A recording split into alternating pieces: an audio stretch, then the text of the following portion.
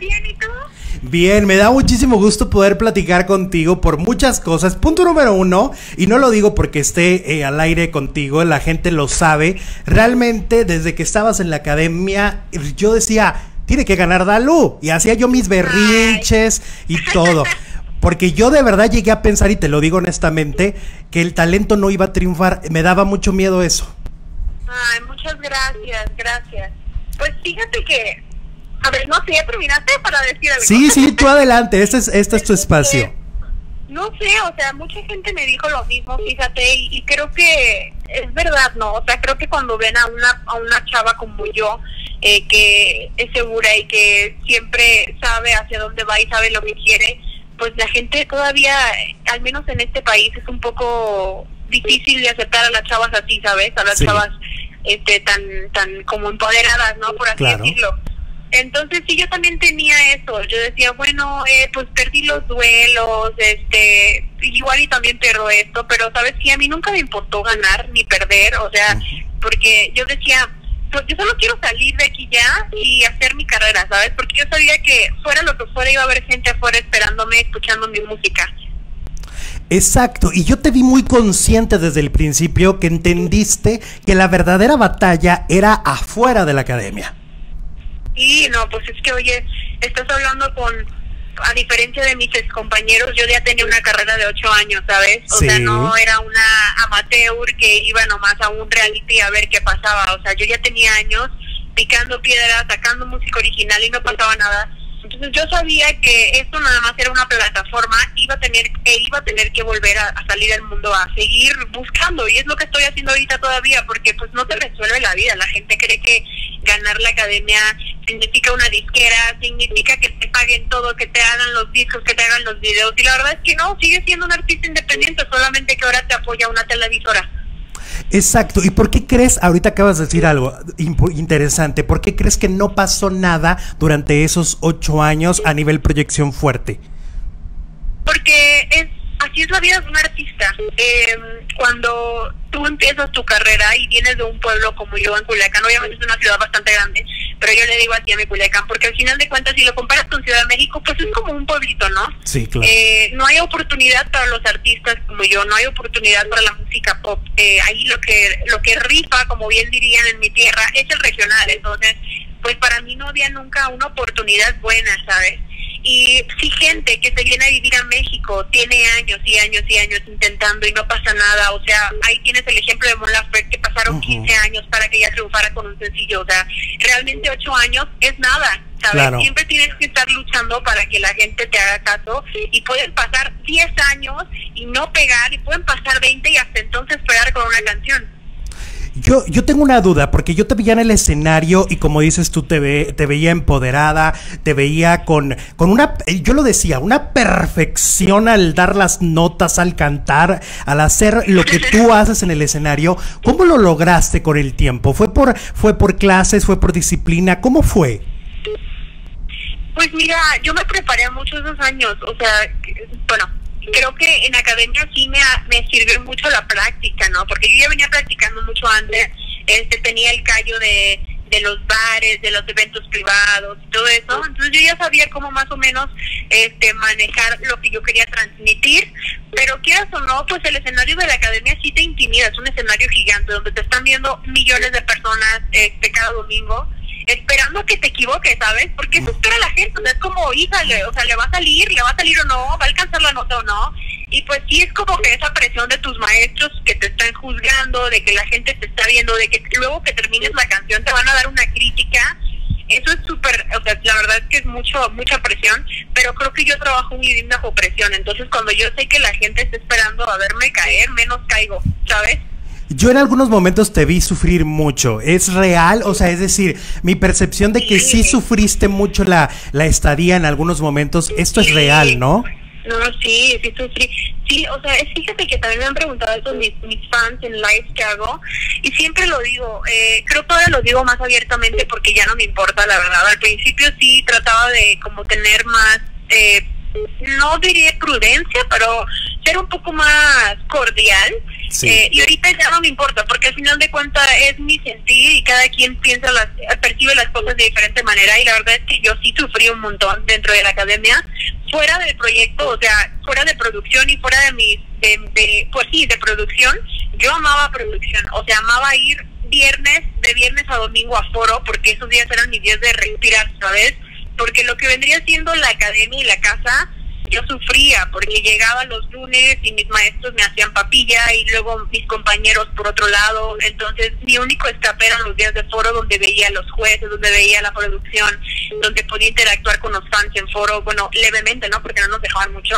Pero sí, no es nada fingido. O sea, la gente a veces piensa, ah, es que es un reality show, pero no. Eh, sí sufrí mucho y creo que no es tanto el proyecto, creo que fue la situación y las personas que me tocó, con, las que, con las que me tocó compartir la casa, ¿sabes? Sí, sí, sí. ¿Sientes que te manipularon y manipularon a tus compañeros en algún momento de dentro de la academia? No, siento que nosotros mismos nos provocamos todo, ¿sabes? Eh, creo que cada quien tenía bien claro lo que quería hacer y cuando pues es que es difícil, o sea, si de por sí es bien difícil hacer amigos en la vida real, cuando tú puedes escoger con quién acercarte y con quién no, ahora imagínate estar encerrada cuatro meses con personas que quizás nunca hubieran sido tus amigos si dependiera de ti. Entonces, eso era más que nada, o sea, te están encerrando con personas que también tienen el deseo de ganar y que están haciendo todo lo posible por tumbar a, a todos para ganar ellos y para eso es una competencia. Creo que al final de cuentas la gente se lo olvida porque quizás hay momentos bonitos, hay amistades que nacen, por ejemplo, de la academia yo me llevé a mi mejor amigo, ¿no? Que es Jonah pero fuera de ahí sí es como que te pones a pensar, oye, pues es que no, o sea, agarra la onda, es una competencia, no vas a ser amigos, todo el mundo va a hacer lo que pueda por ganar y al final eso provocan las, los roces y todo eso y no, o sea, yo no creo que la producción nos haya manipulado, sin embargo nosotros nos buscamos esas, esas experiencias. ¿Cómo has vivido eh, que llevas meses de reto tras reto? Es decir, entras a la academia, cada domingo era un reto, cada cosa que la que te ibas enfrentando y sales de la academia ganando, pero viene el reto más fuerte que nos toca a nivel mundial, la pandemia. ¿Cómo fue esto? Porque había muchos planes, había muchas cosas. ¿Qué tal este reto mayor? Sí, claro. Mira, pues fíjate, te voy a contar. Yo salgo de un encierro para entrar a otro, pero obviamente nada que ver, o sea, estoy con mi familia, tengo mis fans, tengo redes sociales, o sea, y puedo informarme de todo lo que pasa y ayudar a la gente a inspirar y a inspirarme. Entonces, sí es muy difícil, ¿sabes? Porque eh, me ha tocado muchas personas cercanas a mí que han, han sido contagiadas y que han pasado y personas que hemos perdido y al principio era mucho miedo, ¿sabes? Era mucho miedo, era mucha tristeza de, de todo lo que estaba pasando, pero esto, quién sabe cuándo se vaya a terminar. Entonces, creo que tampoco podemos seguir con miedo, porque el miedo hace que nos baje las defensas y cuando se bajan las defensas nos entran las enfermedades. Sí. Entonces creo que hay que tener mucho cuidado, eso es lo que la gente no es consciente todavía, tenemos que tener muchísimo cuidado. Yo tengo que trabajar, todo el mundo tiene que seguir trabajando para poder sobrevivir entonces tenemos, o sea, hay gente que debe salir a la calle a ganarse la vida, ¿sabes? Y también nosotros los artistas, pues tenemos entrevistas o que estas cosas y eso que no se pueden a veces hacer por teléfono. Entonces tenemos que salir, pero hay que tener el, el cuidado. Eh, creo que por eso no han bajado los casos, no tanto por el hecho de que la gente se quede encerrada, sino porque la gente que sale no se cuida o se lo toma a la ligera. O sea, yo he visto gente que salgo de mi departamento y cuento hasta 10 personas en el transcurso de dos minutos en el carro sin, sin mascarilla. Y eso se me hace una falta de respeto total. Por supuesto. Te, te quiero preguntar, yo siento que te rompieron el corazón dentro de la academia. ¿Ya lo reconstruiste? Sí, fíjate que justamente eso es parte del proceso porque adentro de la academia me rompieron el corazón y salgo y me lo vuelven a romper y creo que ya es parte de la vida, ¿sabes? Las experiencias sean buenas o sean malas, hay que tomarlas y agarrarlas y sacar lo mejor de ellas. Por ejemplo, yo hago canciones y eso, eso le sirve no nada más a mi corazón, sino también a mis fans y a la gente que escucha mi música, porque no soy la única a la que la han jugado, a la que le han mentido, a la que le han usado, a la que todo eso, ¿sabes? Por supuesto. Y mira, aquí eh, tienen una pregunta eh, muchos de tus seguidores sobre la JOSA, que si lograste la comunicación porque se veía que, que entablaron comunicación en redes. Sí, sí hablamos por mensaje privado, le mandé algunos temas y veremos qué pasa. Ella dice que todavía está viendo qué es lo que quiere grabar para su disco, entonces esperemos que alguno de mis temas entre y sea de agrado. Una de las dudas que hemos tenido durante todos estos meses, ¿qué pasó con esta cuestión de Gabito y Héctor Martínez, la compañía en la que se supone que los iban a representar a todos ustedes, pero en tu caso muy específico dijiste no? Sí, yo dije no, eh, pero ¿sabes qué? Creo que la gente eh, quizás lo es que nadie sabe la, la verdad, ¿sabes? Y no es que yo quise con, yo no quise contarlo porque yo quería dejar en claro primero bien mi situación con, con mi hogar, ¿sabes? Que es Azteca, o sea, yo no le debo nada a nadie más que Azteca. Eso es lo único que sé y es lo que voy a saber todos los años eh, por siempre, ¿no? Porque gracias a ellos mis fans son lo que son ahorita y estamos todos juntos. Entonces, eh, yo quería hablar primero con ellos y, y, y, todo está bien, ¿sabes? Porque yo expresé mi sentir y les dije, yo quiero ser, un, yo soy una cantautora, no quiero ser, yo ya soy una cantautora. Antes de entrar a la academia yo ya sabía quién era y sabía dónde iba. Entonces, saliendo de la academia, obviamente que sigo sabiendo a dónde voy a ir y a dónde quiero ir. Entonces, creo que simplemente quería rodearme de las personas que entendieran completamente lo que yo quería para mi carrera y lo que me hacía feliz a mí como, como mi esencia y que fuera todo orgánico. Entonces, lo mejor fue alejarme y seguir siendo independiente, pero este, obviamente con Azteca y con ellos estoy increíble y de hecho, o sea, yo estoy súper agradecida con Azteca, eh, pero pues sí, tomé mi camino. ¿Y ellos cómo lo tomaron? Porque públicamente parecería que a lo mejor se llegaron a, a molestar, que es normal, suele ocurrir, a veces la gente quiere que hagamos lo que ellos quieren. Pues no sé, o sea, yo por ejemplo con Arturo tengo una muy buena relación, eh, porque él y yo hablamos después, o sea, mucho después, ya que yo ya estaba, ya habían pasado muchos meses de todo ese escándalo. Eh, él y yo y mi papá nos sentamos, hablamos y quedamos en buenos términos. De hecho, nos ayudó en varios proyectos que yo tenía en el pasado y se portó muy lindo. Este y sigo en contacto con él y todo, pero ya la otra persona la verdad es que desconozco, no sé, no sé qué pasó y yo estoy enfocadísima en mi onda, así que no le presto atención a las cosas negativas. Perfecto, creo que eso queda, eh, ahí queda muy claro. Cuéntame sobre Kalimba, ¿habrá dueto? No sé, o sea, no puedo decir nada porque ¿sabes qué he aprendido? He aprendido que si dices las cosas, ay, la energía negativa de la gente está muy cabrona, ¿eh? Entonces Sí. hay que tener mucho cuidado cuando tienes un proyecto que realmente anhelas, no hay que decirlo, pero mira, el dueto todavía no pude decirles nada, pero, pero sí hay una sorpresa con él y yo, eh, juntos. Espero que pronto podamos anunciarlo. Eso está genial. A mí me va a estallar la cabeza. Yo a mí me va a dar algo ese día porque con tanto talento reunido, o sea, Kalimba es un monstruo también en el Es un escenario. Sí, no, no, no, es increíble. De hecho, yo lo vi por primera vez cuando fui a ver que su que hizo superestrella y no inventes. O sea, creo que su número es uno de los que más me gustaron. Te lo juro, es, es, un, es un monstruo. A ver, cuéntame eh, sobre tus sencillos exactamente, cómo los has ido lanzando, cómo está la planeación, porque he visto que han sido Sí. varios y es Sí. hasta a- para armar un, un EP, un disco completo, ¿cómo va a pasar esto? Claro, pues mira, fíjate que la idea es hacer un disco. eh, no sé si voy a lanzar un EP o un disco, la verdad no estoy segura. Pero, por ejemplo, lanzamos eh, Inquebra- perdón, Inquebrantable, luego fue Mejor Sola, luego fue Traviesa.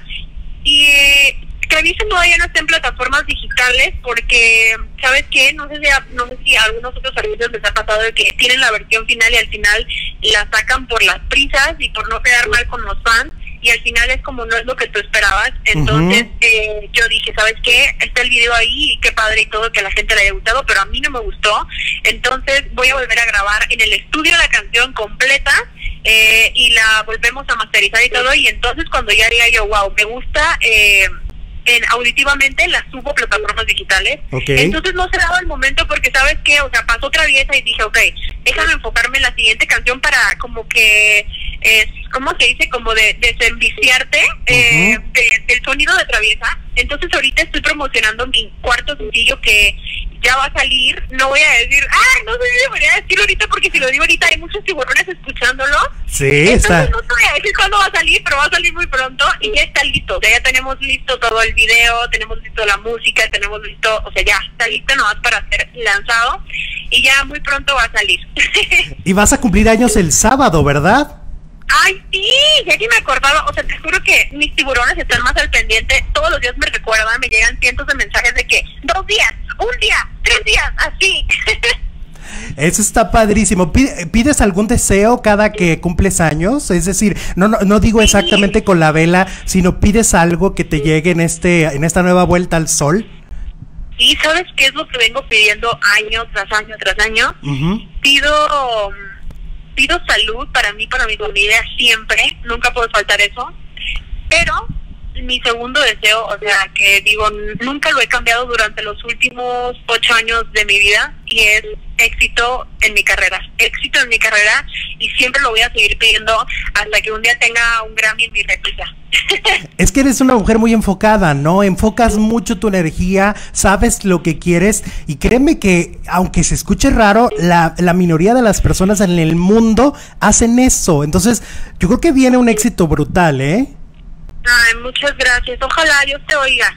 Yo creo que, mira, sabes que yo tengo una filosofía muy cañona. Sí. Que eh, la gente dice, ay, no, ojalá que me llegue este, las oportunidades, el éxito. Y no, ¿sabes qué? Yo siempre digo que me agarre el éxito trabajando y que me agarren las oportunidades mm, buscándolas, no que me lleguen solas.